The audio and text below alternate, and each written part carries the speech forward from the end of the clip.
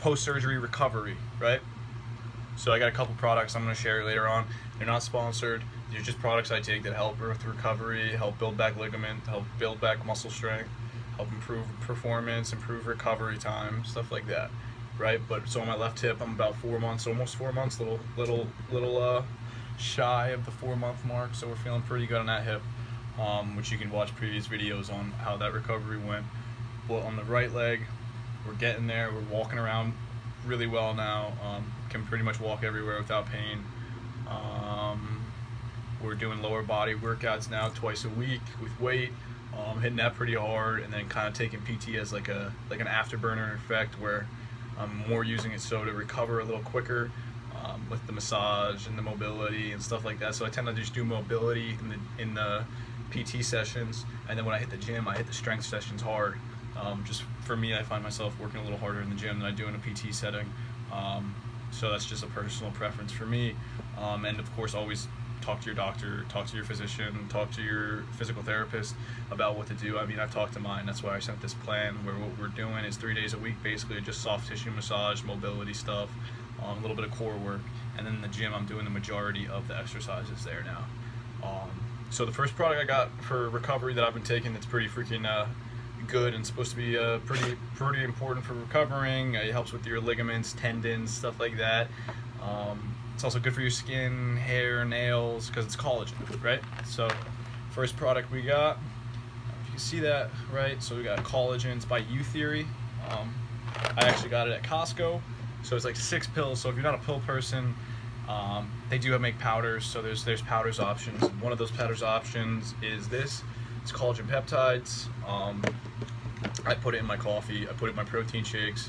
It doesn't taste like anything, so you don't even know it's there. So um, can't hurt. That collagen peptides a little bit different. The peptides are like a broken down protein. Um, so again, just for added recovery, performance, muscle rebuilding, all that good stuff. Um, the next product is turmeric that I take, which is just like a pill that kind of gives a, a natural, um, healthier inflammation fighting um, response in your in your in your system there. Um, I just started taking it again because I was on. You know, they put you on these two pills. So one of them is like, to, or both of them are actually to prevent the bone from building back up. So be careful when you take that. Also, you know, when you're doing these, consult with your physician again, surgeon, um, whoever you're dealing with, physical therapist, before you do any of that, because you know, like, like this is an anti-inflammatory so taking it with that, that certain pill can kind of disrupt your stomach system, you know, mess with your stomach lining, stuff like that, and you just don't want any of that. So just talk to an expert first before you do it. I'm not an expert, but I do know a little bit.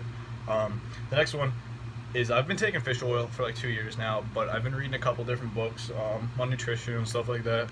Um, so I got triple strength fish oil, which has EPA, DHA, and a larger amount of the omega-3s, right? So the EPA and the DHA are super important, along with the, you know, obviously the omega-3s for fighting inflammation, stuff like that. It's also great for your heart, your blood, your brain. Um, so just a great overall supplement, again, for recovery, something to think about to add that into your, your um, maybe your nutrition plan there to help you out. Um, and then obviously, you know, right after your PT sessions uh, or your gym sessions, you should definitely be getting your protein in. Um, you know, I think the equation is like 0.75 times your body weight. And that's essentially how many grams of protein you should be eating a day for proper recovery. Um, and yeah, so that's all I got for now. Probably make another video in a while, maybe a couple weeks, see where I'm at. Hopefully I'll be running or jogging by then. And uh, yeah, we'll talk to you then.